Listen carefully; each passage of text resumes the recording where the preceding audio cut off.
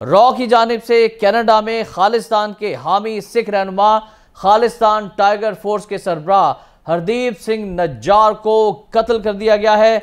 और वहाँ जो रिसर्च एंड एनालिसिस विंग है वो उस वक्त से हमेशा से पाकिस्तान के ऊपर एक इल्ज़ाम रहा है और किसी हद तक मैं समझती हूँ कि सही है टेररिज्म का कि यहाँ से जिहादी भेजे जाएँगे। परवेज मुशर्रफ का भी स्टेटमेंट मौजूद है। कभी अफ़गानिस्तान और कभी कश्मीर।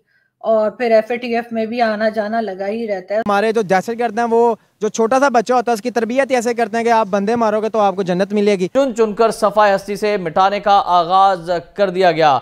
रॉ की जानब से अजीत दावल और बाकी दीगर जो लोग हैं उन्होंने मुख्तलिफ़ ममालक के ज़रिए से पैगाम रसानी करवाई पाकिस्तान। अच्छा, हमने लश्कर जंगी वगैरह भी बनाए थे किसी जमाने में जब इनको फिर हमने बैन तो कर लिया लेकिन अंडर द कारपेट अब भी ऑपरेट कहीं कहीं करते खत्म कर देंगे यही वहीं से आगे पैदा होते हैं। इनको ये कंट्रोल कर पाएँगे क्या ये इससे बाहर निकल पाएँगे कि ये जो नॉन स्टेट एक्टर इन्होंने एक वर्ड निकाला है जो आज तक मेरी समझ में नहीं आया वो क्या होता है कि जब कोई वहाँ से पकड़ा जाता है कश्मीर से ही कह देते थे नॉन स्टेट एक्टर्स हमने नहीं भेजे।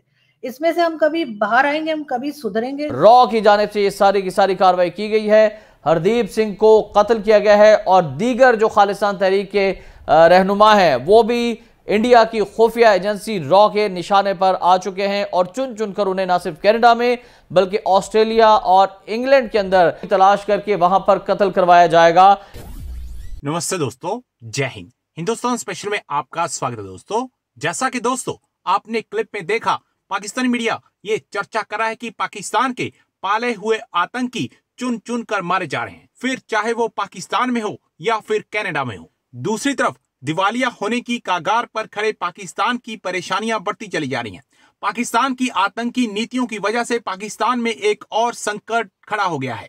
पाकिस्तान में सभी कंपनियाँ अपना बिज़नेस लपेट कर वापिस जा रही हैं। ताज़ा मामला वाहन कंपनी टोयोटा का है। बिज़नेस टुडे की एक रिपोर्ट के अनुसार, ब्रिटेन की तेल एवं गैस कंपनी शेल के बाद जापान की वाहन कंपनी टोयोटा पाकिस्तान में कारोबार बंद करने की तैयारी में है। रिपोर्ट्स के मुताबिक टोयोटा इंडस मोटर्स पाकिस्तान में अपना प्लांट स्थायी तौर पर बंद करने वाली है और हमेशा के लिए पाकिस्तान के बाज़ार से बाहर निकलने वाली है।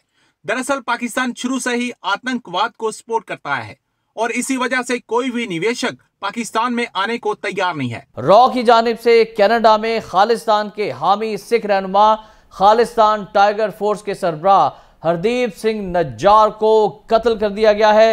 हरदीप सिंह नज्जार कनाडा में कत्ल हो गए हैं। फायरिंग करके उनको कत्ल किया गया है। रॉ की जानब से ये सारी की सारी कार्रवाई की गई है। हरदीप सिंह को कत्ल किया गया है और दीगर जो खालिस्तान तहरीक के रहनुमा हैं, वो भी इंडिया की खुफिया एजेंसी रॉ के निशाने पर आ चुके हैं और चुन चुनकर उन्हें ना सिर्फ़ कनाडा में, बल्कि ऑस्ट्रेलिया और इंग्लैंड के अंदर, जहाँ पर भारतीय सफारतखाने से भारत का तिरंगा उतार दिया गया था और नीचे गिरा फेंका था सिखों ने। अब उन लोगों को भी तलाश करके वहाँ पर कत्ल करवाया जाएगा। ये अहम इंकशाफात सामने आए हैं और ये सारी की सारी भारतीय खुफिया एजेंसी रॉ की कारस्तानी है। हमेशा से पाकिस्तान के ऊपर एक इल्ज़ाम रहा है और किसी हद तक मैं समझती हूँ कि सही है टेररिज्म का, कि यहाँ से जिहादी भेजे जाएँगे। परवेज मुशर्रफ का भी स्टेटमेंट मौजूद है। कभी अफ़गानिस्तान और कभी कश्मीर। और फिर एफ़ में भी आना जाना लगा ही रहता है, उससे भी लगता है कोई खास फ़र्क पड़ता नहीं है। तो आपको क्या लग रहा है कि अब जो कहा जा रहा है कि जो ऑपरेशन कर रहे हैं हम अफगान बॉर्डर पे और टीटीपी और ये सब जो हमारी बनाती, बनाई हुई एक तरह से है इनको ये कंट्रोल कर पाएँगे क्या? ये इससे बाहर निकल पाएँगे कि ये जो नॉन स्टेट एक्टर इन्होंने एक वर्ड निकाला है, जो आज तक मेरी समझ में नहीं आया वो क्या होता है, कि जब कोई वहाँ से पकड़ा जाता है, कश्मीर से ही कह देते थे नॉन स्टेट एक्टर्स हमने नहीं भेजे। इसमें से हम कभी बाहर आएँगे हम कभी सुधरेंगे सीधी बात है देखिए we can only be fix from the outside उसकी हम्म। वजह ये है कि अगर हम हमारे ऊपर छोड़ देना इस बात को कि इन ऑफ़ शूट्स को खत्म कर दें तो हमने करना नहीं हम्म। था ये तो भला हो एफएटीएफ जैसे इदारों का अभी उस पर मुकम्मल जो है वो एप्लीकेशन तो नहीं हुई हम्म। उनकी टर्म्स की यहाँ पे अभी भी ग्रे लिस्ट में चले जाते हैं वाइट में नहीं जाते तो लेकिन है ये कि टेरर फाइनेंसिंग की जो करटेलमेंट है उसको रोकने के लिए अगर हमें बाहर से प्रेशराइज करेंगे, तब वो हो सकता है। तो सबसे बड़ी चीज़ ये है कि अगर सत्तर साल के अंदर हमने ये ऑफ़ क्रिएट किए हैं और इसका फ़ायदा नहीं हुआ तो वही बात है कि जो हिंदुस्तान से दोस्ती की बात करेगा, उसको सबसे पहले इस चीज़ को बंद करना पड़ेगा। तो इसीलिए जो हिंदुस्तान की तरफ़ एक फ्रेंडली पॉलिसी होगी, अब जनरल बाजवा साहब का भी विजन यही था कि हिंदुस्तान से दोस्ती करनी है, लेकिन नहीं करवा सके कुछ भी। जो नेशनल सिक्योरिटी पॉलिसी उन्होंने जाने से पहले अनाउंस की, उसमें कोट एंड कोट लिखवाया hundred years of peace with India लेकिन साथ खान साहब खड़े हुए थे जिन्होंने कहा कि मैं ये कर दूँगा और मैं वो कर दूँगा, बात ही नहीं मानी किसी की। इसके अलावा अदारे के अंदर जो सोच थी वो उनसे अग्री नहीं करती थी।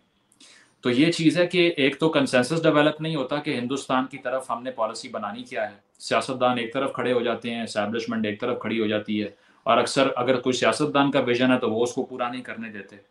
तो पहली बात तो ये है कि ऐसा रहा है मसला जो टेररिस्ट ऑर्गेनाइजेशन को प्रमोट करने का रहा है, लेकिन इस दौर के अंदर मुझे लगता है कि वो रोल बैक शुरू हो चुका है।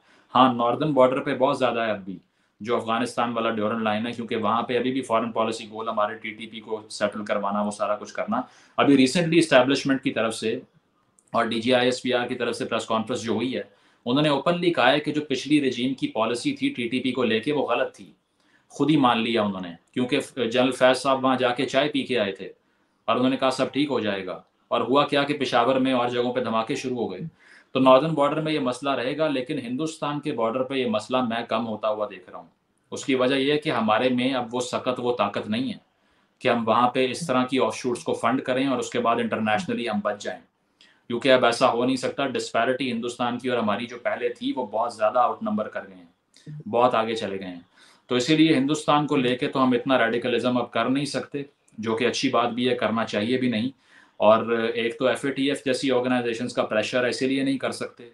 और दूसरा ये है कि अगर विजन आता है, अगर लीडरशिप ऐसी आती है जो दोस्ती की बात करे तो सबसे पहले वो इन जॉम्बीज को और ये जो सारे लोग वहाँ दहशत गर्दी करते रहे हैं पहले, उनको चेंज करने की बात करेंगे। तो इसका ताल्लुक भी रियासत की परसेप्शन से है कि वो देख किस तरह रहा है हिंदुस्तान को। तो अगर आप दोस्ती की बात करेंगे और उसको साबित करेंगे तो ओवर द डेकेड्स हिंदुस्तान जो है वो इस चीज़ को लेके कन्विंस होगा स्टेज पे तो वो भी कन्विंस नहीं हो सकते। अभी जयशंकर साहब ने क्या कहा है?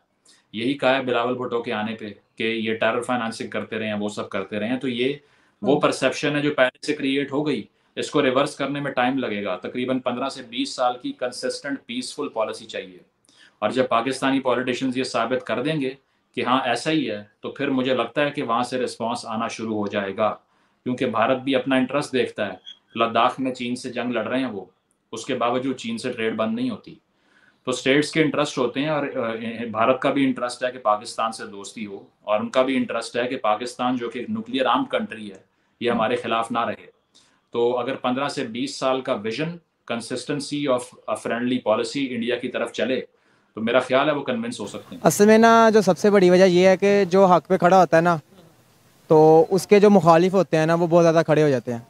अब इंडिया जो है, वो पाकिस्तान का दुश्मन नहीं है आप अमेरिका देख लें आप इसराइल देख लें इंडिया देख लें। अफ़गानिस्तान की हमारे साथ नहीं बाँध रही। लें आप टीटीपी देख लें जिसको पाकिस्तान ने ही बनाया और वो खुद ही पाकिस्तान के ख़िलाफ़ खड़ी हो गई। पाकिस्तान ने दहशत गर्दों के ख़िलाफ़ उसको बनाया और वो उसके ख़िलाफ़ ही खड़ी हो गई।